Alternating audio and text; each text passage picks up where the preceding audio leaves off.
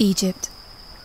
It's a country where worlds collide, and where modern life merges with traditions that date back to the time of the pharaohs.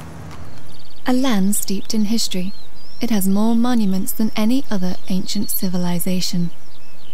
My family and I visited Egypt throughout my childhood, and I've grown up immersed in its history and culture. The last few years have seen a major upheaval, and through the media, we were kept up to date with every heartbreaking moment. The presence of women during events was unprecedented in what is traditionally a segregated society, and it seems to indicate there's major change occurring. I'm here to talk about things I probably shouldn't on an undercover journey that will take me to Cairo, Luxor, and London.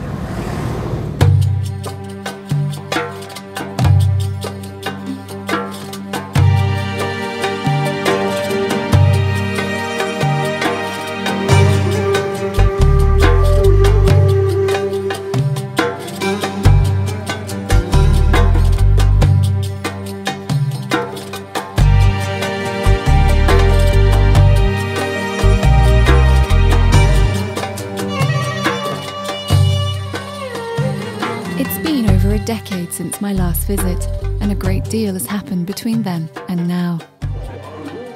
Egypt's revolution was a demand for change that crossed all divides of class, religion, and gender. Millions of people spilled onto the streets to topple a 30 year regime and then later, the first democratically elected president. The journey, while political, has also been a personal one, with cries for bread, freedom, dignity, and social justice, mixed with cries for more sexual rights. I've come to London to ask Shereen El Feki, sexual rights advocate and author of the controversial book Sex and the Citadel, whether she believes Egypt is ready for what many are calling a sexual revolution. In Egypt and across the Arab region, we have what are called the three red lines. These are subjects that you're not supposed to tackle in word or deed. So the first of these red lines is politics. And of course, that line has been well and truly crossed since 2011. The second red line is religion. One is seeing people ask questions of religion. Who speaks for Islam, for example? What should be the role of Islam in public life? That third red line, that third red line is sex.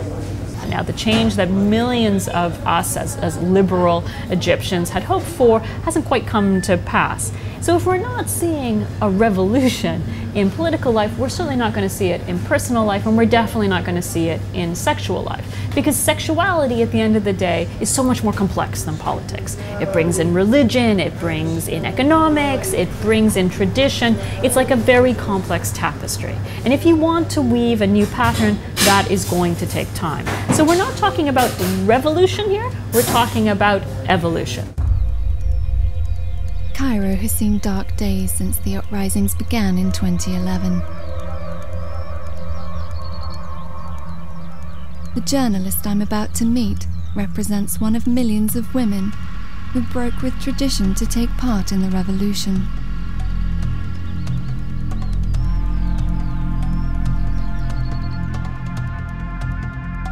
Ikram covered events on the ground for a major newspaper, but as protests escalated, she was faced with increasing danger. Covering the revolution was challenging in many ways, not only because I'm a woman, but because it was dangerous sometimes.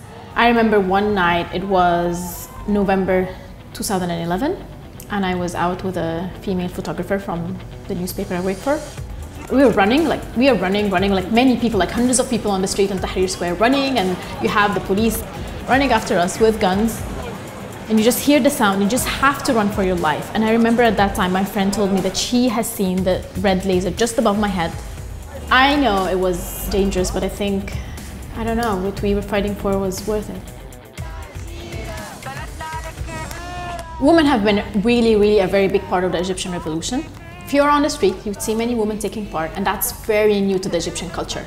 Like that women are on the street fighting, protesting and saying, hey, stop this, we, we end the corruption, end Mubarak's rule, whatever. This was awkward. Just, it's not culture really accepted, but women were on the street from the first day. And I have like met several friends who used to say, I started going to the revolution and taking part because my wife started first, because my wife pushed me, because my wife was in Tahrir Square and I couldn't sit here at home watching television on the sofa and my wife is there and I'm not there. So her being there pushed some men as well to be part because they felt, oh, if a woman can do this, why can't I? Over 40% of the protesters were women, but violent sexual attacks that followed the fall of the regime led many to question their safety. As the political movement intensified, so too did the attacks, with as many as a 100 violent sexual assaults recorded in a single evening. During the first 18 days of the revolution, there was really no sexual harassment happening. It was very, very clean, safe zone where the energy was all targeted towards the end goal that everyone was looking for. When, when you have this energy and this cause, it's not about sexual harassment, it's about helping. The mob attacks or the sexual mob attacks are not regarding that. This is not the same mentality of a guy who is going on the street because he's fighting for a cause. That's a different kind of mentality, which joined the street later, not from day one. By nature, I believe I'm a very courageous person. But when the mob attacks, the sexual mob attacks started in Tahrir Square, I felt really unsafe. And I think starting that, I decided not to go and cover in Tahrir Square anymore. Harassmap is a volunteer organisation whose mission is to change the way sexual harassment is viewed across Egypt. Part of their role was to support women who were violently attacked during the uprisings. Nora and Ahmed work as part of the team and both joined Harassmap after witnessing sexual assaults on the streets of downtown Cairo. I start يعني, focusing on working with on sexual harassment professionally when I, uh, I saw a mob assault in front uh, like in front of the prison in Maadi a group of, of thugs like they are harassing a 18 years old girl because she was protesting against the government and there was like a policeman in front of the, them and they didn't do anything I remember I called my friends, my, my female friends, and uh, I was like checking on them, like even if they are not around, but like I felt like insecurity about my friends and my sisters and my family. And from here, yani, I, I couldn't handle it anymore. But what is it that motivates people to take part in such attacks? So there are a couple of things that kind of influence this like mob creation. So one is just the idea that you can comment on or touch a woman in the streets with impunity. So you can do it when you go to work uh, on like a Sunday morning uh, and you can do it in Tahrir Square during a celebration or a protest and nothing will happen. It's just kind of like, it's allowed, it's normal, it's, it's what guys do. And this is, of course, again, like an extreme form of what we see on the streets, on like everyday situations. So I might get harassed by a guy verbally, and some other guys might see it happening and they think like oh yeah i'll do it too. And then they also do it and other people are around and no one will stop them. Like no one will interfere. So the same thing in, in tahrir square for example. People see this happening and they choose to join in rather than seeing no this is not okay i'm going to try to stop it. You can hear like horrible stories about the mob assaults. We are talking about sometimes it's the mob assaults between 200 harassers and like Sometimes it's like 1,000 person around one girl or one lady, and like you can't you can't see if they are uh, like trying to help her or trying to harassing her. So it's yeah, I mean, it's it's a mess. Um, and they were very violent. Um, and people were using like sticks and sharp objects. While mob attacks are extreme, a UN report estimates that over 99.3% of women in Egypt get harassed on a daily basis. The vast majority of sexual assaults go unreported, including my own experience back in the 1990s when I was attacked by a group of teenagers in a local market. My father intervened, but the locals persuaded us not to report it. The boys were just being boys. Harassmap want to change this with their online reporting system, which allows people who witness or experience sexual harassment to record it on their website. They're also trying to raise awareness with street campaigns designed to encourage people to intervene and speak out when they see or experience sexual harassment. but it's a daily problem. I get harassed every day. every time I go outside the door, I know that this is a possibility that I will experience some kind of sexual harassment. It happens everywhere, all kinds of areas and neighborhoods. It happens all the time morning, day, evening, night. Most of the time, it's verbal harassment or even just like body language or looking up and down. Uh, but also touching. When you're in public transport or anywhere where it's a bit crowded, it happens very easily. Uh, even when I'm on my bike, it happens. Like people try to touch me while they're driving by. You have to prepare yourself mentally. It's an everyday thing that happens. You eat food every day and you get harassed every day.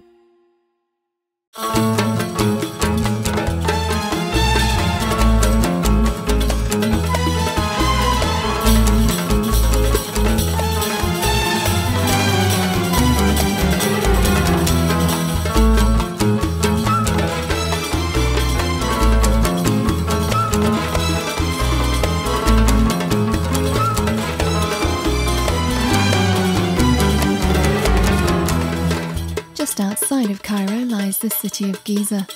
It's home to the pyramids and over 7 million people. I'm here to gain a better understanding of the everyday dynamics around marriage, family, and the patriarch. There are many expectations on what a woman should be and what a good woman should do. And there are many rules put upon you. Women are expected to take care of the house and in many times work as well. If you're talking about more of the middle class women, they get educated. But still, the way they get married and the dynamics between her and her husband, it's more of him superior to her. You're always wired, not only for Frina, but you're always wired since you were born on marriage, like fixated. A family is absolutely key. It is the bedrock of one's personal life, and it's also bedrock of society because at the end of the day, marriage is about two families coming together, which is important for the state because it, in cementing the role of the father and the family, you actually, in reflection, cement the role of the head of, of the head of the state, the, the dictator, the authoritarian figure.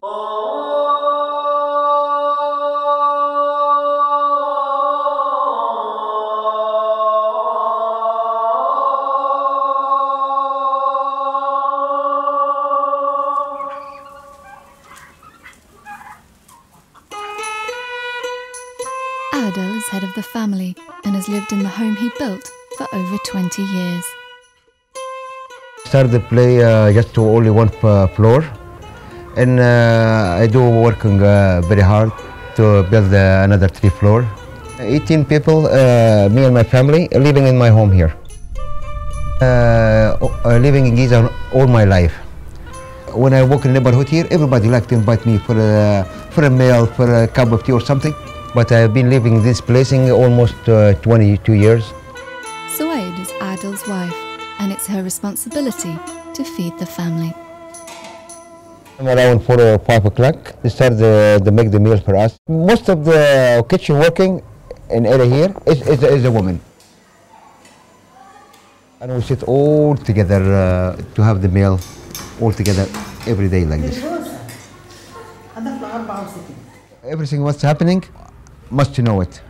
Every every small piece at my home, I must know it. The man always have the key.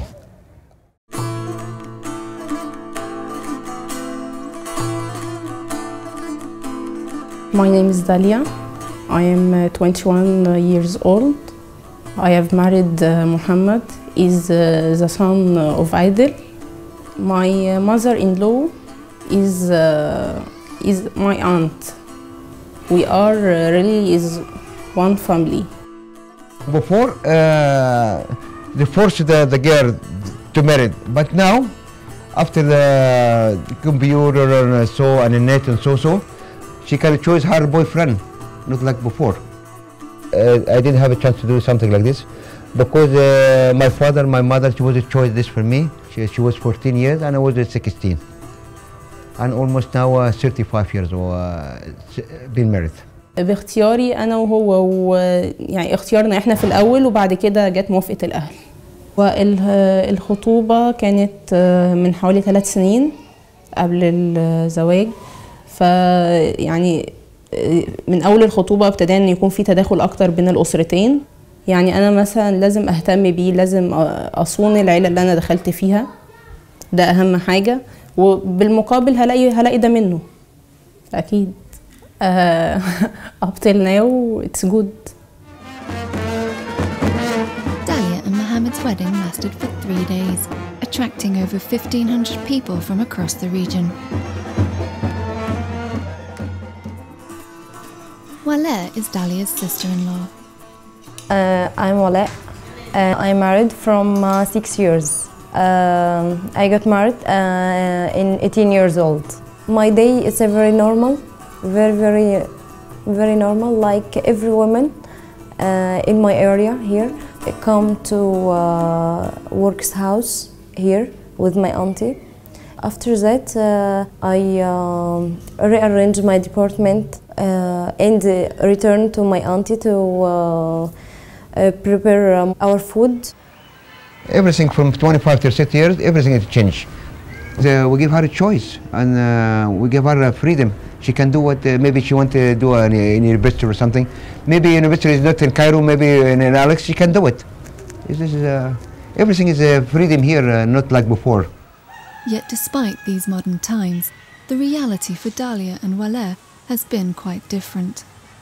Before my marriage, uh, my big dream and my important dream uh, to go on in my education and uh, and to work in uh, in media uh, and be uh, a journalist. My education was in another town, and my family and my fiance, actually my husband now, uh, never approved to leave uh, to leave another town alone.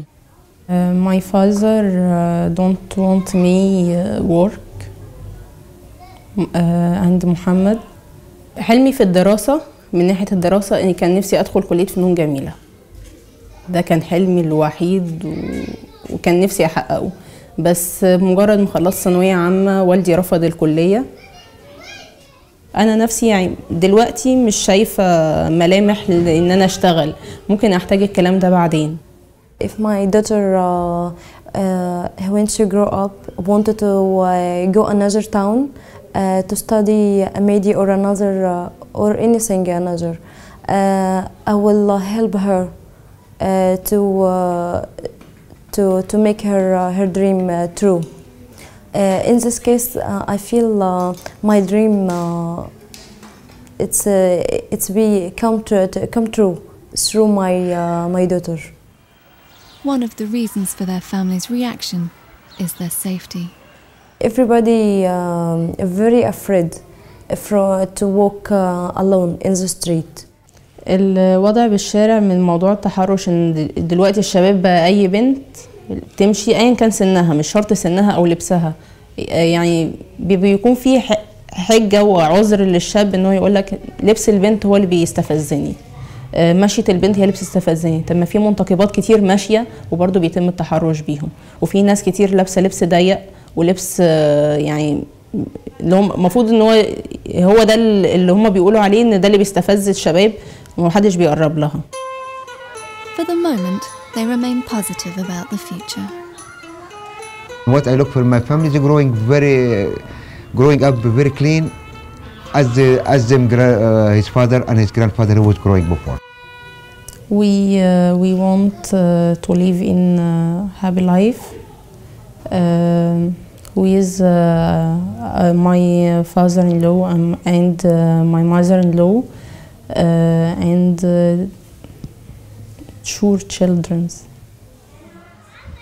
After I, uh, I have made children, uh, they can uh, make me uh, forget everything, even my dreams. Just across the other side of town lies a very different way of life. I've come to meet Amal, but due to the nature of her story, I can't reveal her true identity. I was always rebellious, you know, with things like you can't do this, you can't do that. I, I think my parents had a hard time with me, really hard time, because I was just not conforming with whatever rules they were putting uh, for me. Uh, I was actually born in my grandmother's uh, place in Giza. My dad was He came from uh, Said, Upper Egypt, started from, from nothing. He had absolutely nothing. Uh, my mom lived in Giza. She was one of 10. I never really knew the difference between a boy and a girl, but when my brother was born, then I actually saw the difference. He is the boy, you are the girl, you're supposed to be doing certain things, and he was supposed to be the, the powerful things as far as I saw it. I wasn't allowed to, to be back home after 8 o'clock. This is something that I really hated right from the start. Amal's father worked overseas, but after she refused to abide by the rules, he moved her along with the rest of the family to the UK. I hated it because I was taken from my friends, people that I love. But as time went on, you know, I started to see the good side of it. Uh, and that was like, oh God, I can't believe it. Couldn't believe how free they were. It's seeing a, a man and a woman kiss in the street, you know, to me was, you know, how can they do that? And this is where most of my uh, how can I say it, most of my rebellion years and finding myself and knowing what I want. I remember having a conversation with my dad where I was saying, what if I don't want to get married? What would happen? And he, he, he said, what do you mean you don't want to get married? You know, you have to get married. You know, women who don't get married are looked upon very badly in society and you cannot be not married. I said, but what if I don't care? You have to know this that you are under my dominance and you will be under it no matter what. You cannot get out of that until you get married. And if I die, it will be your brothers who will be taking care of you. And when I heard this, I was at the age of 23, and it was then that I decided I'm going to leave home. No matter what happens, I will actually leave home. His daughter being going away from his house without getting married, it is breaking his honor. If, my, if it takes my dad killing me, because that was the option. If you leave home, you die. But I felt I will die anyway.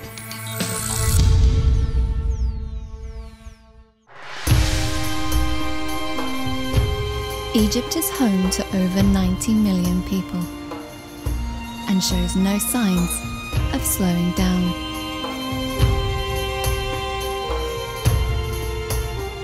Every six months, one million new Egyptians are born. And every year, over a million of them get married.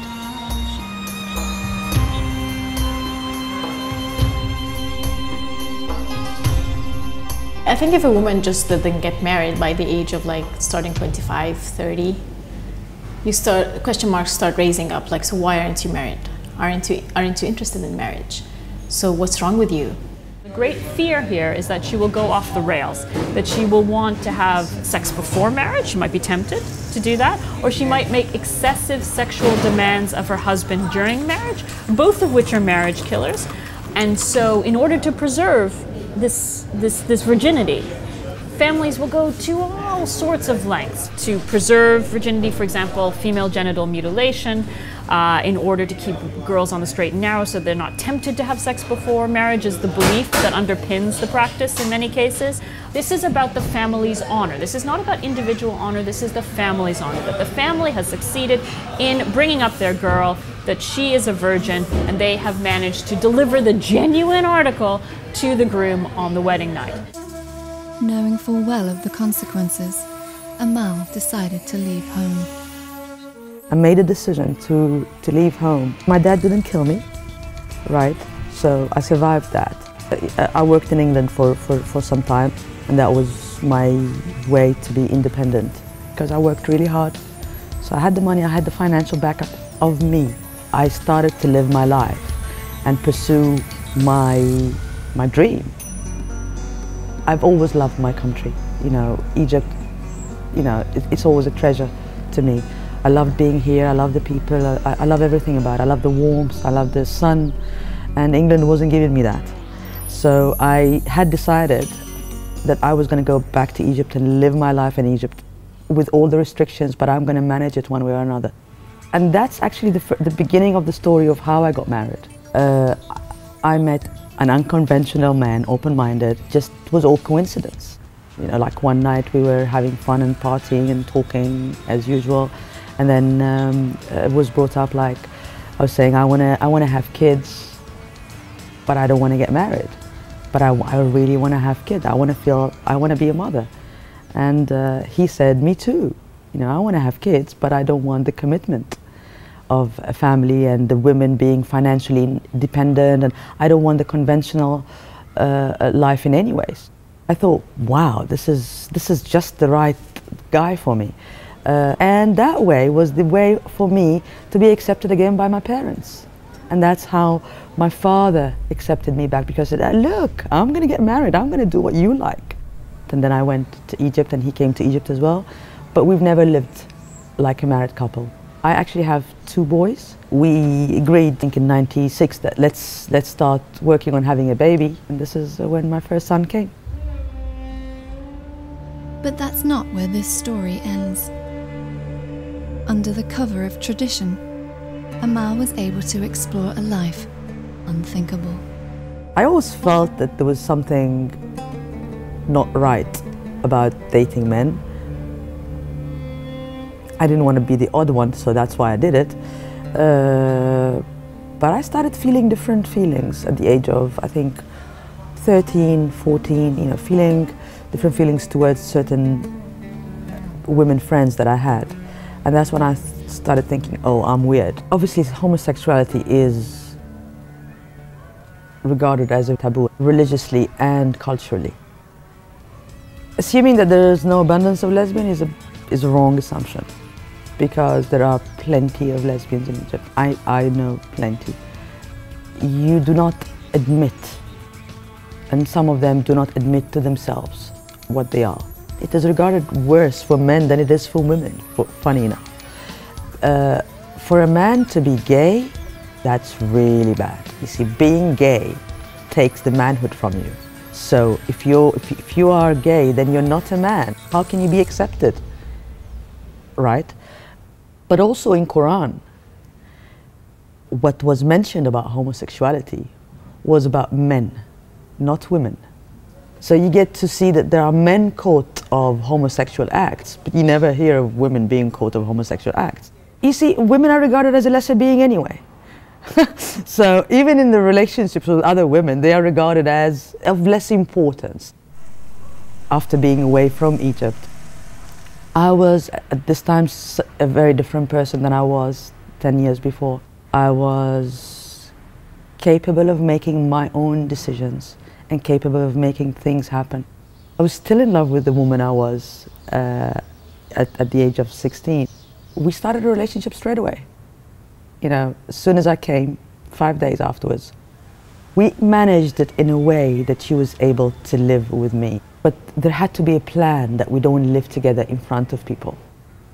I managed to get us uh, like one floor in a building where it has two flats opposite each other that was the, the cover up. And that's how we did it. Uh, and we were together until uh, 2010. Until I met my current partner, I had no intention of being into any relationships. You know, I thought, let me have a break here and I need a couple of years of a good break.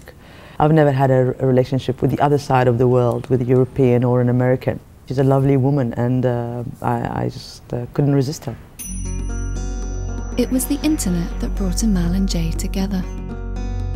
When the revolution happened, I joined Twitter, and about a year later is when I met Amal on Twitter. She told me, shared her story with me of what she went through to live the life that she wanted.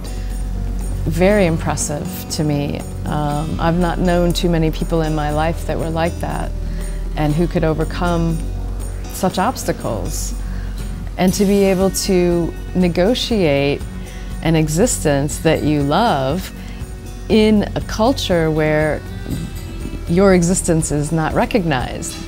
To me, that's fascinating. There's a difference, I think, when your family isn't even accepting at all of being a lesbian or being gay, that the culture says, no, this is sinful and wrong. Things have changed. Back in the 1970s, Egypt was much open.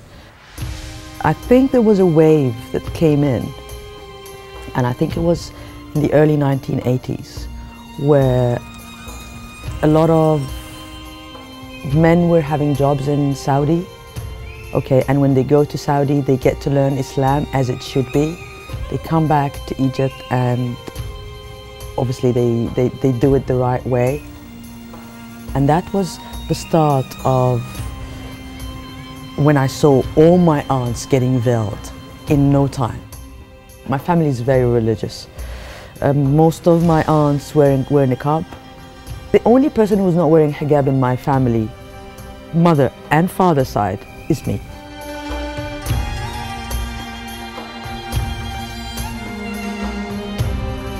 At least 10% of the population is Christian. While Christianity and Islam differ in their ideology, both share similarities when it comes to taboo subjects and the importance of marriage. Religion is the way of life.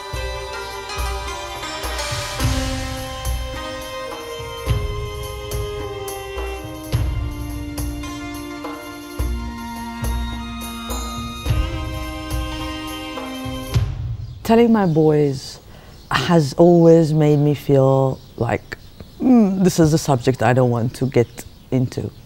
Maybe when they get older. I kept saying maybe when they get older, older. And now my son is much older. So it is not an easy feeling because when you feel that you can be rejected by your own son, that there is a, there is a possibility that you're rejected by your own son or that your son could be ashamed of you, it's going to be tough. So the, the, the, the decision is very hard. Being with my partner now, who is totally uh, accepting herself and she's totally out, actually, which is something I'm, I'm not yet. When I want to talk to my boys about who I am, she gives me that strength that I really need. But still, it's a very hard feeling. And when I think about it, I think of the risks. But when I see no, it is possible, I can do it, it is exactly what I need at this stage of my life.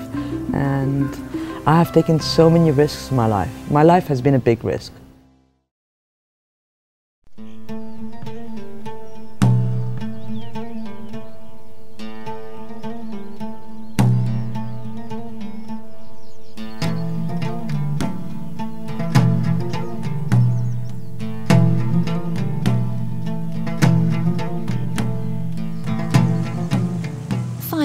Kilometers south of Cairo lies the tourist town of Luxor. Its beautiful temples line the banks of the Nile, and the pace of life feels like it hasn't changed in centuries.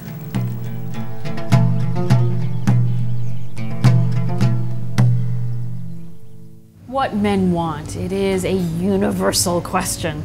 Uh, what I have found in Egypt and across the Arab world is that uh, we actually know very little about men and their feelings around personal life, around marriage, around fatherhood, for example. The reality for men is that they are under pressure as well. Different pressure, less pressure in many cases than women, but theirs is not a problem free life. The problem about marriage is that marriage has become very expensive. The fast rule that men should pay has actually, in a sense, uh, hardened over recent decades with the rise of Islamic fundamentalism and a real rigidity around what is the appropriate behavior for men and the appropriate behavior for women. One needs to keep in mind that in a patriarchy, unless you're at the very top of that pyramid, life can be tough. And until we really start talking to men about how they feel about their changing role in society, how they feel about women's role in society, we will never be able to achieve equality between the, between the sexes. Tourism is a major source of income for Luxor. But since the uprisings began, all but a handful of tourists have stayed away.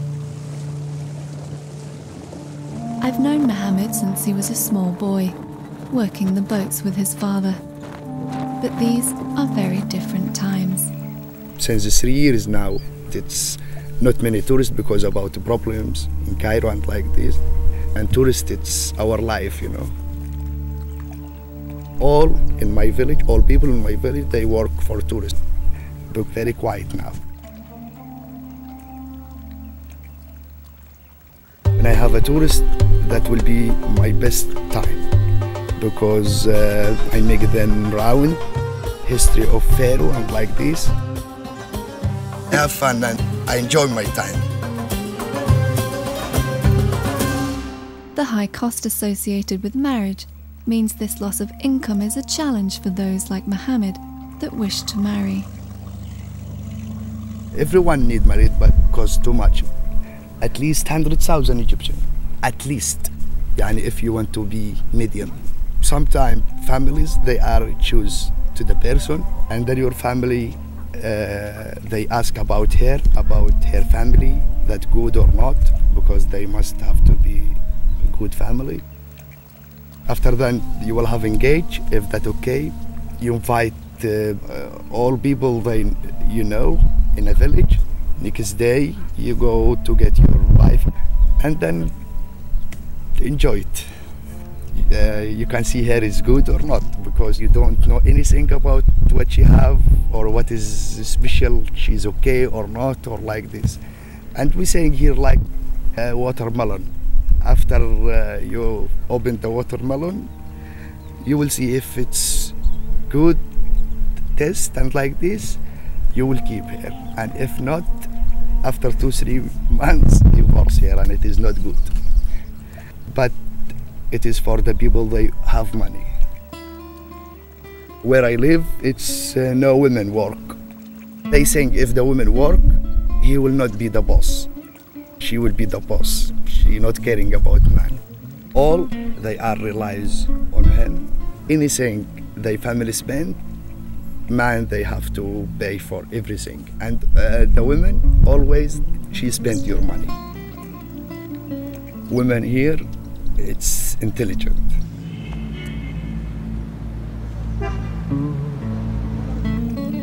Pharaoh people, uh, love it is very important for them. They always have a God for love, and then love it is from soul to soul or from heart to heart. When I have children, I want to give good life to them. I want to look after them very well school, everything. But I want to have a relationship because time is run.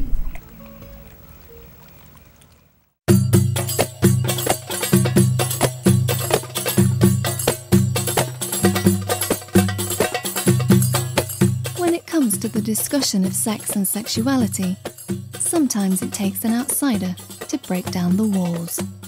My name's Sandra. I live in Scotland. I first came to Egypt in 2008. Since then, I have been 38 times. I don't know if it's the people, the sunshine, or the view. I just love it all. To begin with, I just knew the men.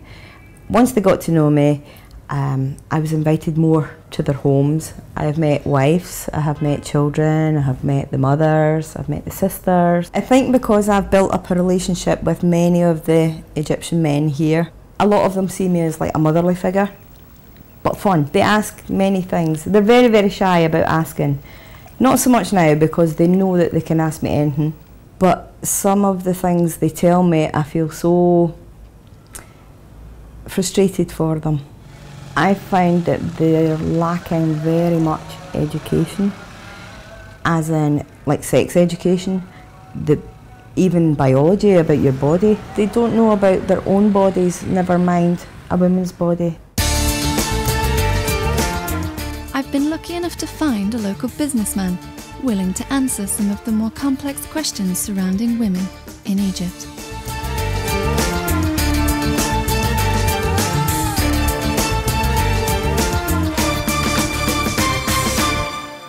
My name is Sayed.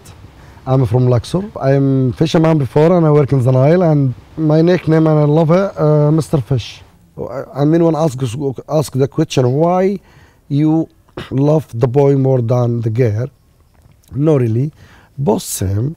Girl make family work very hard, very very hard. About the boy, don't care. This boy, even him go be not good, that man, him can be not. That's okay. For girl, no. It's so difficult. Girl must be good. Must be good. Girl not allowed even to go out to have some boy to walk on with her. About maybe she do mistake. A relationship with someone and the family don't know it. You know, maybe some boy or man give her nice talk and she relax too much and her body go like that.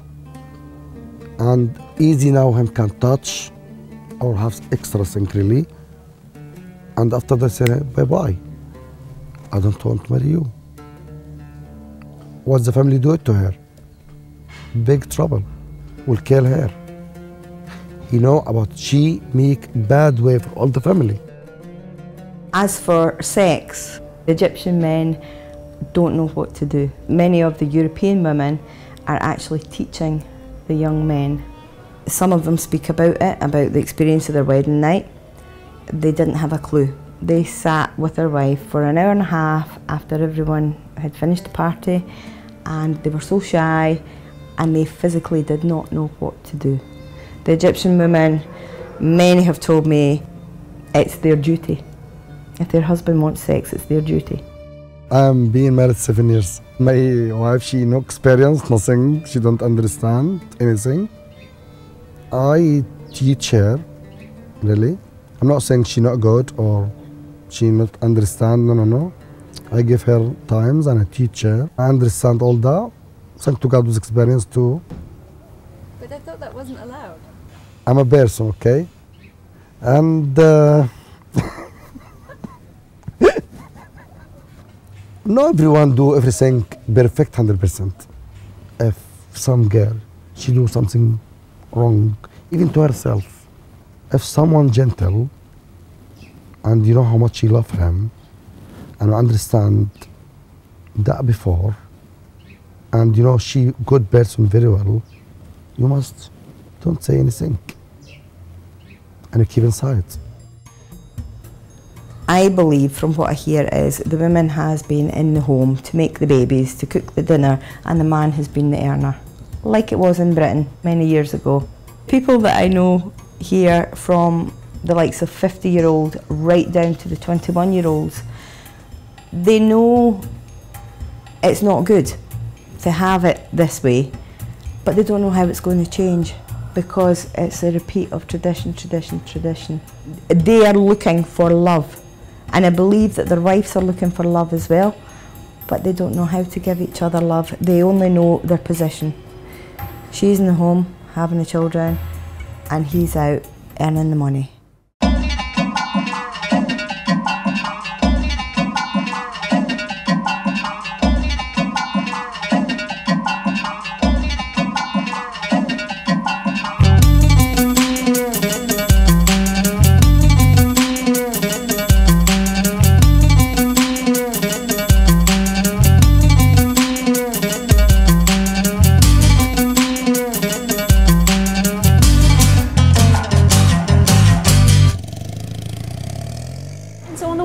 They want to have these dynamic and exciting sexual lives, but on the other hand, their expectations are pumped up by the huge volumes of porn that is going down across the Arab world. The video clips and all this culture has intensified like the sexual um, energy or the sexual desire in Egyptian men. Yet you watch, you open on the TV and you watch with your family a woman who's dancing, wearing provocative clothes that you won't accept your daughter to wear, neither your wife to wear, and you're really liking it.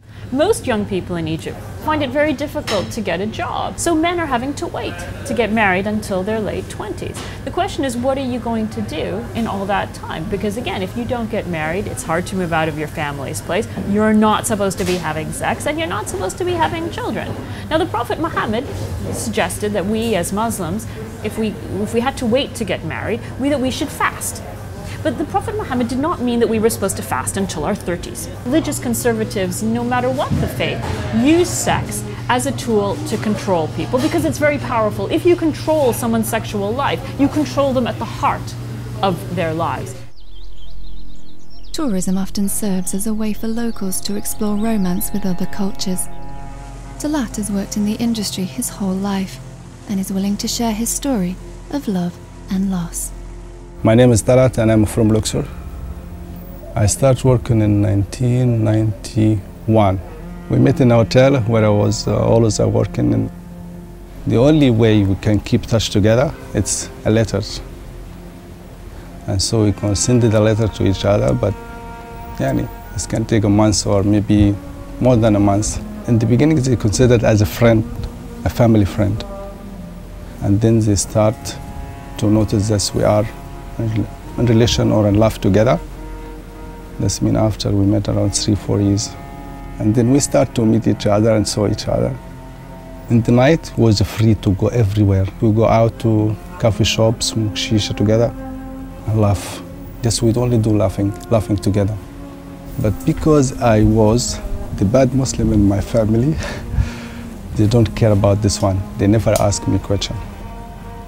And this time I was planned to marry her, and I give her this ring for her. We stay in relation until 2000, and then she disappeared. And I was keeping sending the letter to her, but I have no reply. I have no clue why and how she disappeared, just disappears. I only think she disappeared because she didn't want me anymore. You know, I, I, I don't know if, my, if me or just is normal. And somehow I cannot be give up quickly. But after a while you should do. Five years, خلاص. I forced to marry from my family. You cannot stay like that. You should marry. Then I, I know some, I know a few girls, but as we believe in family, I asked my mom where I can go to get married. She said, yes, choose. There's one, two, three houses, you can choose one of them. Then I start to know her, start to eat, to talk to each other, start to be nice together, and then we live together for only six months. I think two months later we get married. That done. Of course, I love my wife, and I have four kids. To be honest, it's a happy life, or a, or a, I'm happy. I'm happy with my family. But after 14 years, contact is made. She found me in a website and she sent me an email. The world is very small to find you here. The Egypt I fell in love with 20 years ago is still very much here. It's sad so few tourists are visiting, and I only hope things begin to pick up. It's been great to reconnect with the place after all this time. And, thanks to the internet, Talat is reunited with, well, me.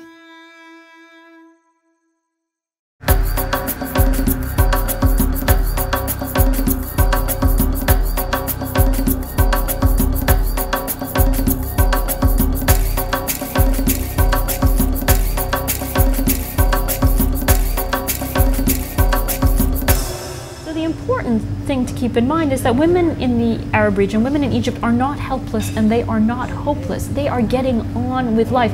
It's just very often they do it in a different way. That women are, are empowered, that women have more control over their lives does not mean that men lose out from this. But it is no easy task in Egypt or anywhere in the world. Amal's story is one of courage and perseverance. She defied all the odds to create her life in the country that she loves. Telling my son is like a journey. Specifically in the past two years, I've been preparing him for this because I knew eventually I'll be able to, to say it. And that's what happened. You know, one day we were just chatting and uh, he, it, it was very surprising to me because he was asking questions not about why or who I was with. He was just asking general question around the subject. It was very nice. It was, it was, it was actually much better than I expected. I expected him to be maybe a bit of anger, a bit of, you know, disbelief. Nothing of that sort. It was like I was telling him a bedtime story. I feel I've done a good job. This is how I wanted my son to be. I haven't told obviously my younger son yet. Not now. I think he's you know he's a bit young to grasp certain things, but definitely I will very soon. As for Talat and I, It's a very different world today to the one we met in, that had no cell phones or even internet. And it's not an easy task to come back and face a person after all this time. My attack in the market scared me and made me question whether I could live in a society where harassment is so readily accepted. It's one thing for it to happen to me, but the thought of bringing a family into it is another case altogether. The truth is, I didn't know how to say that our cultural differences felt insurmountable. I have this one, but I don't have. I can remember this one as well. I thought you have a hundred or a thousand picture because every time I seen you, you hold your big camera. It was a big camera and a small one, and you only get three pictures for us.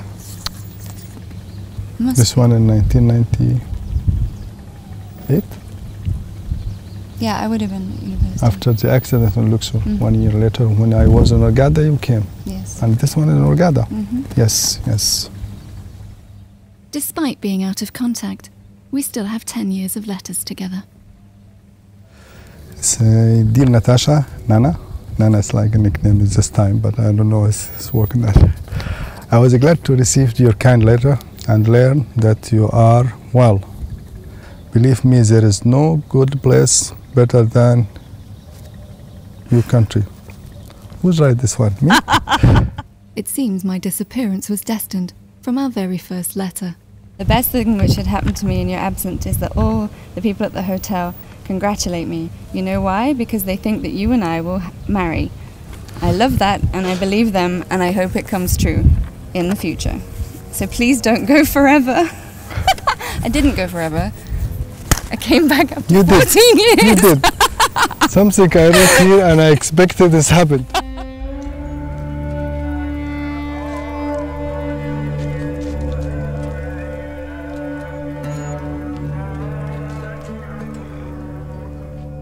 Stepping outside the boundaries of societies and the rules and the cultures and the religion is very difficult. It's not easy at all. We need to learn how to accept our differences. We need to listen to each other, which we don't.